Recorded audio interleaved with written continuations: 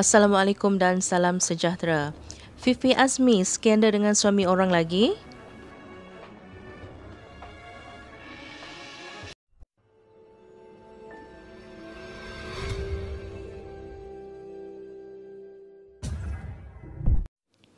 Sebelum ini, nama pelakon Fifi Azmi menjadi perhatian ramai apabila dikaitkan dengan punca perpisahan pelakon Rashidi Ishak dengan bekas isterinya, Wanida Imran yang bercerai pada Ogos 2018.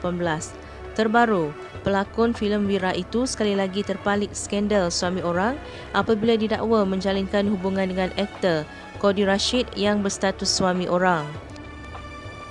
Dikatakan rapat dengan Kodi selepas bergandingan dalam drama Ryan Aralin, kedua-dua mereka sekali lagi bekerjasama menerusi drama skuad JPJ arahan Pali Yahya yang menjalani pengabaran di Melaka baru-baru ini. Terkejut dengan dakwaan tidak berasas itu, Fifi menafikan perkara tersebut. Fifi berkata dia tidak akan menjalin hubungan dengan suami orang apatah lagi dia sudah mempunyai kekasih. Saya tak tahu nak beri reaksi bagaimana terhadap dakwaan ini. Asalkan rapat sahaja, keluar kisah dongeng dan skandal. Sedangkan saya rapat dengan semua pelakon. Saya belum buta mata dan hati mahu menjalinkan hubungan dengan suami orang. Kodi sudah berkahwin. Tak baik mereka-reka cerita yang tidak betul. Lagipun saya sudah mempunyai kekasih. Sudah lima tahun kami menjalinkan hubungan cinta. Katanya kepada berita harian online.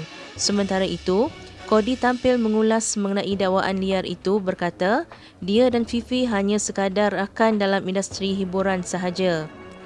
Saya dan Fifi berkawan sahaja. Hubungan kami tidak membabitkan perasaan. Kami jadi rapat kerana sudah dua kali bergandingan bersama.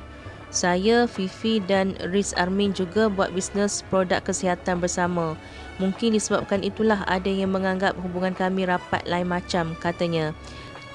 Kodi mendirikan rumah tangga dengan Nur Fatihah Mahat sejak 2015 dan dikurniakan dua cahaya mata.